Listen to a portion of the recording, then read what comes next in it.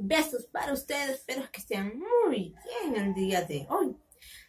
Como siempre chicos, por las tardes, reforzando lo que han aprendido, ¿sí? En el área de personal social. Entonces, recuerden ustedes, ¿sí?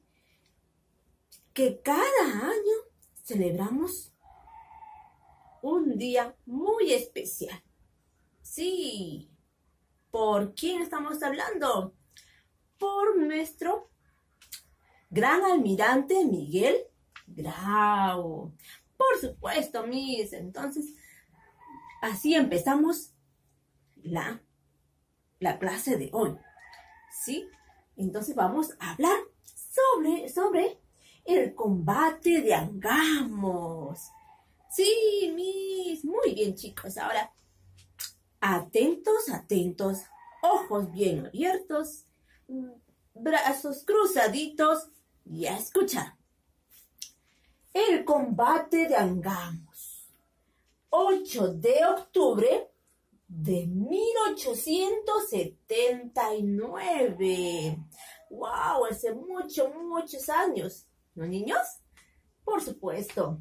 Entonces, vamos a observar en la imagen que es un personaje, un caballero, un hombre muy importante para el Perú, porque es un héroe peruano. Sí, niños, ¿y qué es un héroe? Es como Francisco Bromesi, ¿se acuerdan? De don José San Martín, Ah, muy bien. Entonces, él es otro héroe que nosotros ya lo tenemos ya en nuestro Perú. ¿Ya? Entonces, Miguel Grau es un héroe.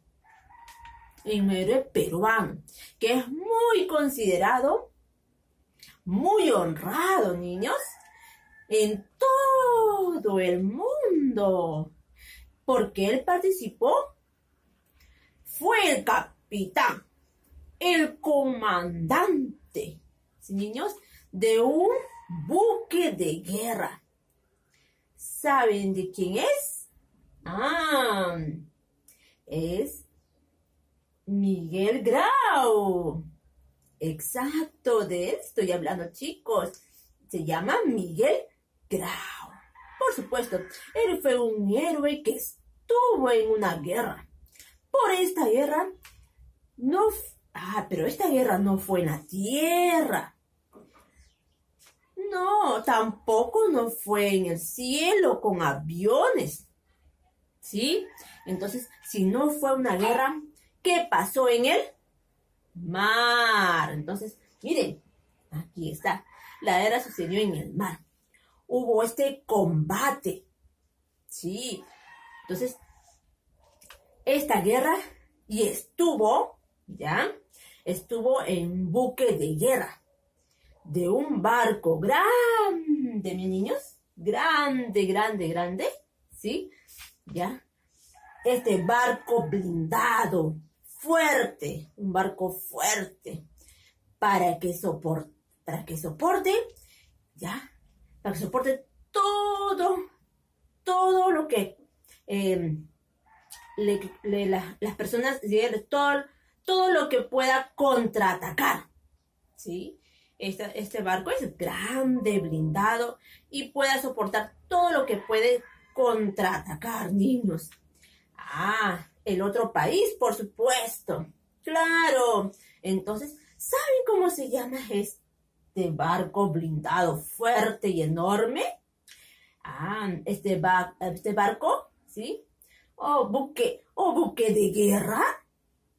Mm, se llama el Huáscar. Recuerden chicos, se llama el Huáscar. Es un barco grande, ya, que puede soportar cualquier tipo de combate. ¿Quién estuvo al mando? Sí, niños, ¿quién estuvo al mando de este buque? Fue el capitán. Ah, el capitán mi, Miguel, gran almirante Miguel Grau. Exacto. Este, este buque fue Miguel Grau. Él fue el capitán, el comandante de este buque de guerra. ¿Y sabe por qué fue un combate de guerra, niños? ¿Saben por qué? Ah, porque, ay, chicos, este combate, ¿saben que este, este combate o esta guerra no debe existir, ¿no, chicos? No debe existir esta guerra. No, no, no, no. No es cierto que las guerras, es, cierto que las guerras traen mucho dolor a, a las personas, a la familia. Entonces, por eso nosotros luchemos por la, por la paz. Ahora, eh, ahora Perú ya no está con, con, guerras como hace tiempo se estaba. Ahora lo que se hace es hablar. ¿Sí, chicos? Entonces, lo que se busca es la paz. Entonces, como ustedes saben, pero en esos tiempos, ya hace mucho tiempo, hace 140 años, hubo una guerra en el mar, donde nuestro país, Perú, chicos, por nuestro país, Perú, se enfrentó con el país de Chile. Y se llamó, se llamó la Guerra del Pacífico. ¿Por qué? Porque esta guerra o este combate sucedió en el Océano Pacífico. Y entonces le dieron el nombre de Guerra en el Pacífico. Ok, chicos, entonces nuestro, entonces nuestro Perú se fue a la guerra, ¿sí? A la guerra con Miguel Grau, con Miguel Grau, como fue el cap, como dice, fue el capitán, ¿ya? Entonces llevó el buque, el Huáscar, a la guerra. Ay, este buque no solamente estaba el, eh, el buque, el buque Huáscar solo, no, no, no. También teníamos otros barcos, sí, otros barcos también que íbamos a pelear, sí, contra Chile.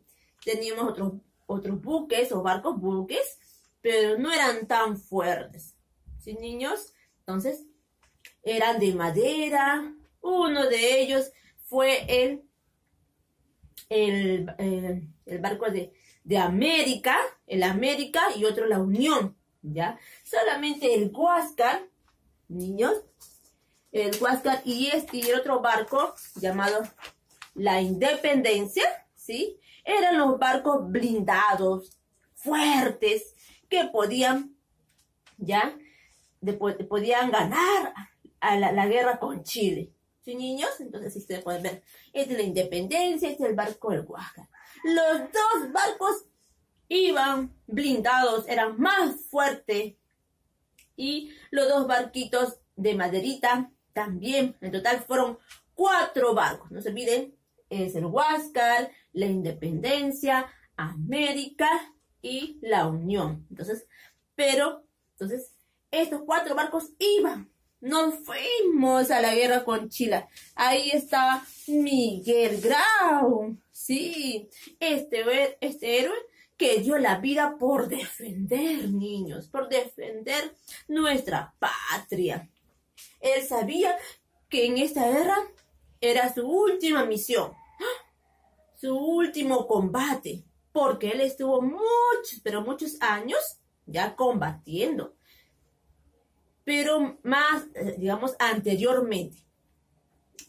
Ay, ¿sabe qué, qué hacía Miguel Grau? Eh, él era un hombre de familia, su esposa, sus hijos. Entonces, durante todo este proceso, niños, que fue a la guerra, él escribía cartas, sí, escribía cartas a su esposa, diciéndole, ¿saben ustedes? Que cuánto la quería, cuánto la amaba y le extrañaba. Ah, de igual manera a sus hijos. Él era una persona eh, de sentimientos muy nobles, niños. ¿Por qué? Porque él era, eh, porque durante esta guerra, ya, sabía que no iba a estar con su familia. Pero entonces él iba con fuerza a la guerra, a ganar. Entonces, Pero en esta guerra, ¿saben chicos? El Huáscar derrumbó a un buque de Chile. Sí, venció a un buque de Chile. Ay, pero ¿dónde murieron? Varias personas, niños, ya sea peruanos, chilenos, pero entonces el buque Huáscar derrotó a un buque chileno. Ah, entonces, ustedes saben, al, el buque cuando se, se, cuando explota, cuando cae, cuando se derrumba en el mar, hay muchas personas, ¿sí? Sobreviviendo, nadando, querer vivir. Entonces, cuando observó Miguel Grau, ¿qué hizo? Llamó a sus soldados diciendo que, eh, que a su batallón, que a las personas eh, que, estaban, que estaban en el mar lo rescataran. Entonces lo rescataran. ¿Saben ustedes, chicos, que Miguel Grau tenía un noble corazón, ¿sí? Entonces, eh, hace que Miguel Grau, donde todos peleaban contra, ya sea con granadas, con armas, chicos, entonces con bombas, a pesar que se enfrentaban con el, en el medio del mar, eh, Miguel Grau tenía un noble corazón. Entonces, a Miguel Grau, como, tuvo ese, ese gesto tan bondadoso, a él le consideraron o le llamaron el caballero de los mares.